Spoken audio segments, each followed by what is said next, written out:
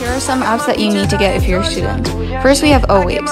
It allows you to add in activities and what you will do for different timestamps. It will definitely help you plan out your day and organize everything. Next, we have Continuo. It allows you to type in your activities and add that to your calendar. And you can cross it out when you're done.